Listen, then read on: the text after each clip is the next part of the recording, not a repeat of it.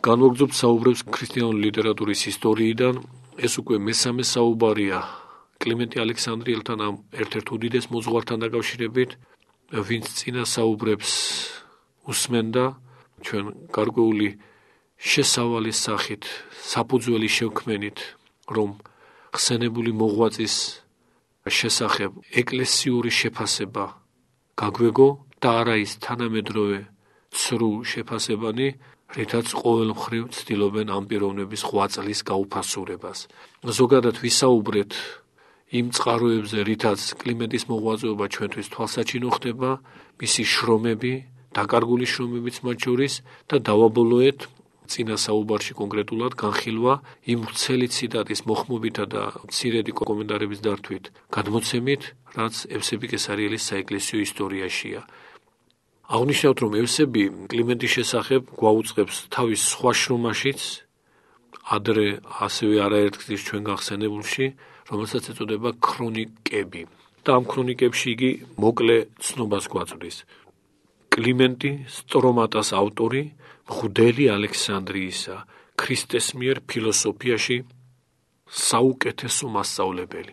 ესე იგი ქრისტეს მიერი ფილოსოფიის ერთ-ერთ ყველაზე თვალსაჩინო წარმომადგენლად ამ ციტატას მიხედვით, რა თქმა უნდა, კლიმენტია აღიარებული, მაგრამ ჩვენთვის ისიც მნიშვნელოვანია, რომ აქ სრულიად ხაზგასმით აწოდებული კლიმენტი როგორც ალექსანდრიის მღვდელი. საქმე ის გახლავთ, რომ ეს მონაცემი ბოლო ხანებში მკვლევართათვის ეჭვის ქვეშ დადგა, როგორც საერთოდ ყველაფერი ეჭვის ქვეშ დგება ზოგიერთისთვის და სპეციალური შრომაც დაიწერა ამასთან დაკავშირებით, იყო თუ არა კლიმენტი ალექსანდრიელის სასულიერო პირი.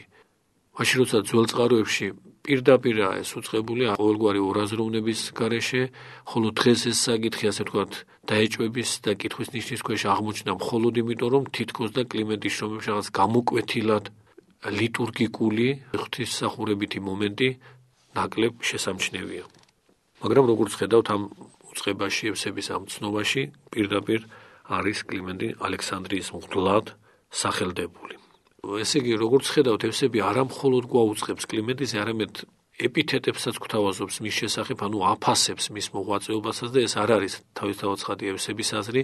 კვლავ გავიმეორებთ, რომ საკუთრივ ევსების პოზიცია ჩვენთვის არაა თავისთავად ცხადია არგუმენტი და ავტორიტეტი, იმიტომ რომ სამწუხაროდ იგი მოძღვრებით ნახევრად არიანელი გახდათ და ამის შესაბამისად მის შეფასებებსაც ძალა ეკარგება, მაგრამ გარკვეული პოზიციის და ეპოქის განწყობის ამსახველი უეჭველი არის და ამიტომ მისგან ხაზგასმული და უშუალოდ თქვათ ისეთი მინიშნება კლიმატის თუნდაც სტრომატაზე რომ აურაცხელი სასარგებლო სწავლებით აღსავსე ეს შრომა რომ კლიმენტი არის ქრისტეს მიერ ფილოსოფიაში საუკეთესო მასწავლებელი, აგრეთვე ისიც რომლის შესაბამისი დადასაც ამჯერად დავიმოწმებთ, რომ კლიმენტი არის საკვირველი თაუმასიოს, ეს ყველაფერი კვლავ აღნიშნავთ ეპოქის ხმა და ამას ადასტურებს სხვა უკვე უწმინდეს კანონიზებულ წმინდანთა, უდიდეს ავტორიტეტთა ანალოგიური შეფასებანი და კიდევ უფრო აღმატებული შეფასებანი კლიმენტის მოღვაწეობისა. ხოლო თვითონ ევსები კლიმენტის მიმართ ჩვენ უკვე ხსენებულ ტერმინს საკვირველი იყენებს თავის სხვა შრომაში, რომელსაც ეწოდება სახარებისეული შემზადება, ასე შეიძლება ითარგმნოს ქართულად. ეს ძეგლი ლათინური სახელწოდებითაა გავრცელებული სპეციალურ ლიტერატურაში, პრეპარაციო ევანგელიკა, და ასე შეიძლება ქართულად ითარგმნოს შემზადება სახარებისა, ან და სახარებისეული შემზადება. აი ამ შრომის მე-11 წიგნში ევსები ამბობს: გარკვეულ სწავლებას გადმოსცემს და შემდეგ დასცეს. ყოველსავე ამას ცხადად ასაჩინოებს საკვირველი კლიმენტი თავის თხზულებაში შეგონებანი ელინთა მიმართ. როგორც აღნიშნეთ ეს ზეგლი ჩვენამდე მოღწეულია, მას ბერძნულად ეწოდება პროტრეპტიკოს, ანუ მაწვეველი, მომაქცეველი, შემგონებელი ელინთა მიმართ. და იგივე ეპითეტი, ესე იგი საკვირველი, ანუ თაუმასიოს მეორდება ევსების ამავე შრომის, უკვე ესე ციტატა რომელსაც მოვიდანეთ, სახარებისეული შემზადება მეოთხე წიგნში, სადაც ფრაზა ჰო თაუმასიოს კლემეს, ანუ იგივე კლიმენტი, კლავაც ევსებისგან კლიმენტისადმი ხაზგასმულ მოწიწებას და პატივისცემას რა თქმა უნდა წარმოაჩენს. ქრონოლოგიურად მომდევნო საეკლესიო მწერალი, რომელიც იხსენიებს კლიმენტი ალექსანდრიელს, არის ერთ-ერთი უდიდესი მოძღვარი, უწმინდესი კირილე ალექსანდრიელი. თუმცა ჩვენ აქ შეგვიძლია ერთი პატარა მინიშნება გავაკეთოთ, რომ უფრო ადრეც მეოთხე საუკუნეშივე თვით ევსები კესარიელის მოღვაწეობის დროსვე ვამბობდით რომ ევსები შეფასებანი ეს ეპოქის ხმა, აი ამის დასტურად შეგვიძლია წმინდა ათანასე ალექსანდრიელი მოიხმოთ, რომლის მიმართაც ჩვენ შეგვიძლია იგივე ვთქვათ, რაც ამ შემთხვევაში ევსები კესარიელის მიმართ, რომ ისიც უდიდეს პატივისცემას განუკუთვნებდა კლიმენტის, როგორც ამას ჩვენ სრულიად უეჭველად გვიდასტურებს უდიდესი ავტორიტეტი წმინდა მაქსიმე ახსარებელი.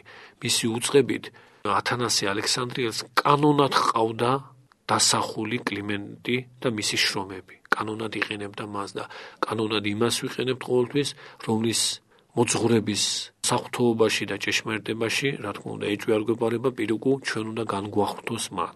მაგრამ ამ ცნობას ჩვენ ცოტა მოგვიანებით აღნიშნავთ, ამჯერად დაუბრუნდებით უწმინდეს კირილე ალექსანდრიელს, ალექსანდრიის ამ უდიდეს მღვდელმთავარს ალექსანდრიის საღდრის, რომელიც რამდენიმე გზის გვაუწყებს კლიმენტის შესახებ და ყოველთვის ხაზგასმული მოგრძალებითა და უაღრესად აღმატებული ეპითეტებით. კირილე, რომელიც 454 წელს აღესრულა მეოთხე მეხუთე საუკუნეების და განსაკუთრებით მეხუთე საუკუნის პირველი ნახევრის საეკლესიო შეფასების დასტურია.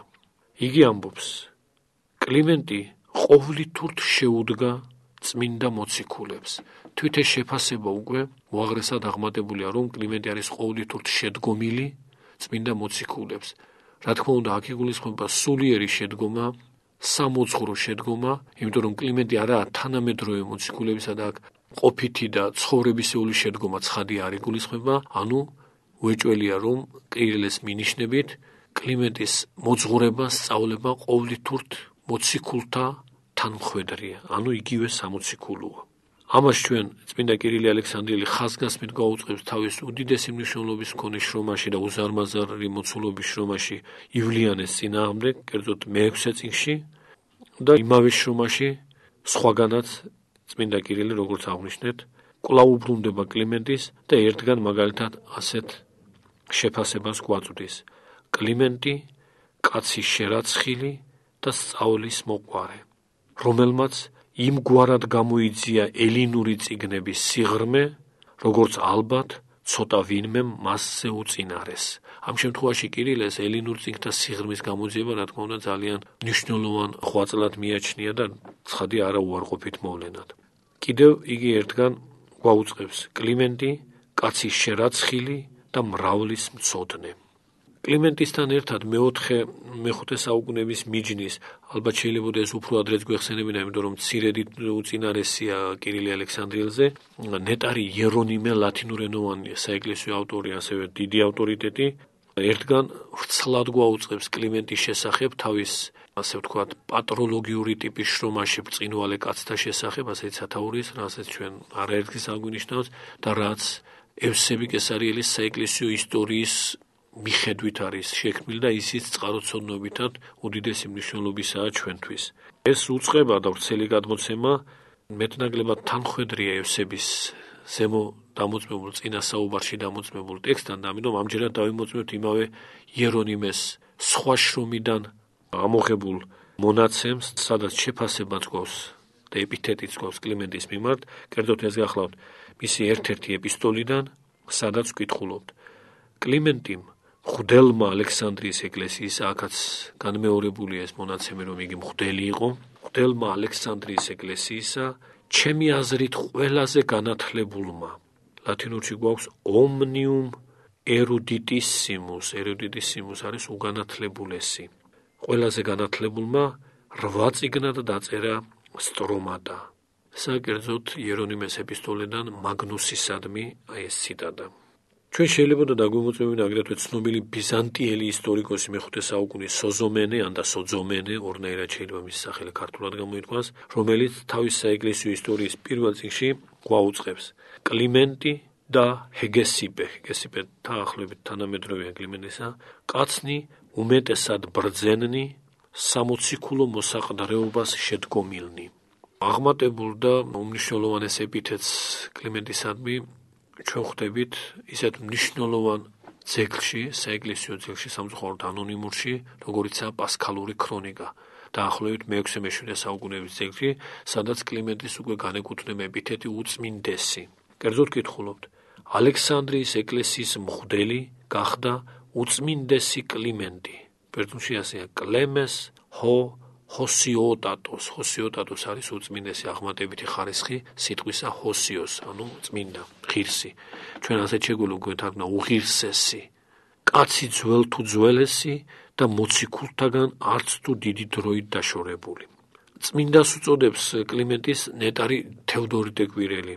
უფრო პასკალურ ქრონიკაზე მცირედით ადრე ქრონოლოგიურად მეხუთე საუკუნეში, რომელიც აღნიშნავს: მოწმედ წარმოგიდგენთ სტრომატას ავტორს, წმინდა კაცს კლიმენტის, ჰიერონ ანდრა. მე ჩვენ შეიძლება და ჰიერონ ამ შემთხვევაში ასეც გვეთარნა სამღვდელო კაცს კლიმენტის. ფილოსოფოსთა ფილოსოფოსის სახელს განუკუთვნებს კლიმენტის წმინდა მაქსიმე აღსარებელი, რომელიც საკუთრივ წმინდა ათანასე ალექსანდრიელთან დაკავშირებით გვაუწყებს იმას, რაც ნაწილობრივ ზემოთ დავიმოწმეთ, მაგრამ ახლა მთელ ციტატას მოვიყვანთ. საიდანაც არამხოლოდ მაქსიმეს უაღმატებულესი დამოკიდებულება წარმოჩნდება კლიმენტისადმი, არამედ მისი წინამორბედის სამოციქულო ავტორიტეტს გათანაბრებული უწმინდესი ათანასისიც. მაქსიმე კერძოდ გვაუწყებს: კანონად გამოიყენა ათანასემ კლიმენტი, ჭეშმარიტად ფილოსოფოსთა ფილოსოფოსი. ფილოსოფოს ტონ ფილოსოფონასია ბერძნულში. რომელიც სტრომატას მერვე წინში ნებელობას განსაზღვრავს როგორც წადიერებით გონებას, ხოლო განზრახვას როგორც გონივრულ წადიერებას ან რაიმეს ნებებას. კლიმენტის იმოწმებს ერთგან აგრეთვე წმინდა იოანე დამასკელი თუ მაქსიმე მე-7 საუკუნის საეკლესიო დამოკიდებულებას გამოხატავს მოგეხსენებათ იგი 662 წელს აღესრულა ცირედით მოგვიანებით დაახლოებით 748 წელს აღსრულებული ანუ ესე იგი მე-8 საუკუნის ვითარების გამოხატველი წმინდა იოანე დამასკელი კლიმენტის განუკუთვნებს ეპითეტს ნეტარი. როდესაც იგი ამბობს ნებელობა არის თანახმად ნეტარი კლიმენტისა წადიერებითი ძალა. ჩვენ შეიძლება ეს რამდენადმე საყურადღებო იყოს იმასაც აღნიშნავთ, რომ მაქსიმეს ზემოდამოწმებული სიტყვები ძველ ქართულ თარგმანშიც მოგვეპოვება და ეს ძველი ქართული თარგმანი ასეთი გახლავთ, ეს კერძოდ არის გელათური თარგმანი მე-12 საუკუნისა. კანონსა ხუმევითა ამის და ამის და ეკულისხმება ათანასეს და ნანდვილვე ფილოსოფოსთა ფილოსოფოსისა კლემენტოისა მეკუსესა სიტყვასა შინა სტრომატეოთასა რომელი ნებასა სადმე წადიერებითად გონებად განასაზღვრებს ყოფად. სა ხელნაწერი გელათი 14 ფოტო 482 სვეტი 2 ესე იგი ქართულ თარგმანშიც რა თქმა უნდა შენარჩუნებულია ის რომ კანონად გამოიყენა თანასემ კლიმენტი, რომელიც არის ფილოსოფოსთა ფილოსოფოს, ნანდვილვი, ანუ ჭეშმარიტად. სხვათა შორის ერთ-ერთ ძეგლში იგივე მაქსიმე კლიმენტის უწოდებს აგრეთვე სახუთო მოძღვარს და ამ ტექსტის ძველი ქართული თარგმანიცა იმავე გელათელი მოღვაწის მიერ შესრულებული იმავე გელათურ ხელნაწერ ნომერ 14-ში დაცული, სადაც კითხულობთ: ხოლო რაისა მიმართად შორის ქმნაი თქვა საღმრთომან ამან მოძღვარმან. იგულისხმება, როგორც ვიკითხარით, კლიმენტი ალექსანდრიელი. ასევე არის ძულქართულად თარგმნილი წმინდა იოანე დამასკელის ის შრომა, სადაც იგი კლიმენტის უწოდებს ნეტარს, ესაა კერძოდ მისი თხზულება ქრისტეში ორი ნების შესახებ, რომლის ბერძნული ტექსტი პატროლოგია გრეკას 95 ტომშია გამოქვეყნებული. ხოლო ძველი ქართული თარგმანი, რაც დაცულია A205 ხელნაწერში და რაც წმინდა არსენი ყალთუელს ეკუთვნის, თამთარგმანში ზემო წარმოდგენილი ტექსტი ბერძნულისა ჩვენეული თარგმანი ასეთი სახისაა იმ ძველში. ნებება უკვე არს ნეტარისა კლიმენტოისებრ ძალი წადიერებითი. იგივე წმინდა იოანე დამასკელი სხვაგან ნეტარი იერონიმეს მსგავსად კლიმენტის უწოდებს ძველ თუ ძველეს არხაიოტატოს და ბოლოს დავძენთ რომ ხსენებული მაქსიმი ამხსარებელი ერთგან კლიმენტი ალექსანდრიელს უწოდებს აგრეთვე დიდს. ჰო მეგას კლემეს ამბობს იგი, ანუ დიდი კლიმენტი. მომდევნო ხანაში, ესე იგი მე-8 საუკუნის შემდეგ, კლიმენტის შრომათა და ამაზე ორიოდე სიტყვი ჩვენ ადრეც გქონდა ნათქვამი, დაწვრილებითი განხილვა მოგცა ფოტი პატრიარქმა, რომელმაც ამ შრომებიდან ცალკე გამოხო ჩვენამდე არ მოღწეული ძეგლი განწესებანი და უარყოფითად შეაფასა იგი.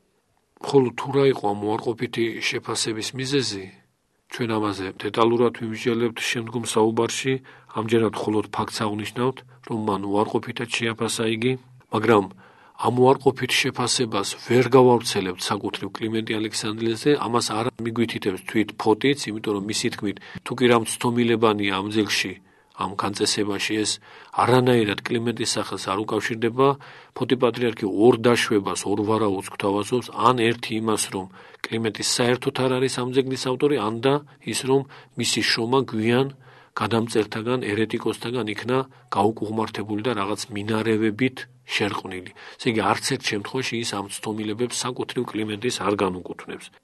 ასევე ზოგიერთ ტერმინოლოგიურ და სამოძღვრო ხარვეზზე უთითებს ფოტი პატრიარქი კლიმენტის სტრომატასთან დაკავშირებით ესეც აბსოლუტურად გასაგებია კვლავ აღნიშნავთ, იმიტომ რომ ესაა მეორე მესამე საუკუნეების ბიჯნის ძეგლი, როცა ბევრი რამ ტერმინოლოგიურად სამოძღვრო კუთხით ჯერ კიდევ არაა დახვეწილი, ჩამოყალიბებული. ჩვენ აღნიშნავთ, რომ თუნდაც მაგალითად წმინდა იუსტინე მარტვილი და წმინდა ირინეოსი ქილიაზმის სტარსწავლებასაც კი იზიარებდნენ, იმიტომ რომ ჯერ კიდევ არ იყო მაშინ განმარტებული ამ სრუსწავლების არამართებულობა როგორც ეს მოგვიანებით წმინდა დიონისე ალექსანდრიელმა მოგცა, ამიტომ ეს გასაკვირი არ გახლავთ ამ საკითხებს ჩვენ შეძლებს დაგვარად განმარტავთ, ხოლო და აღნიშნავთ იმას, რომ იგივე ფოტი პატრიარქი, როდესაც საუბრობს კლიმენტის სხვა შრომაზე, კერძოდ თხზულებაზე სახელწოდებით პედაგოგი, იგი აღფრთოვანებას ვეღარ ფარავს და მიიჩნევს, რომ ესაა საეკლესიო პედაგოგიკის საუკეთესო სახელმძღვანელო, რაც აი ეს შეფასება საკუთრივ მოძღრის ღირსებაზეც, ესე იკლიმენტი ალექსანდრიელის ღირსებაზეც ცხადია უეჭველად მეტყველებს. ჩვენ ამ ეტაპზე ამით დავაბოლოებთ კლიმენტი ალექსანდრიელის შესახებ საუბარს, მისი შრომების შესახებ საუბარს, ზოგად მონაცემებს მასთან დაკავშირებით, ხოლო შემდგომი საუბრიდან შევეცდებით, რომ უფრო დეტალურად წარმოვაჩინოთ კლიმენტი ალექსანდრიელის მოძღვრება სხვადასხვა საკითხთან დაკავშირებით. გმადლობთ ყურადღებისათვის.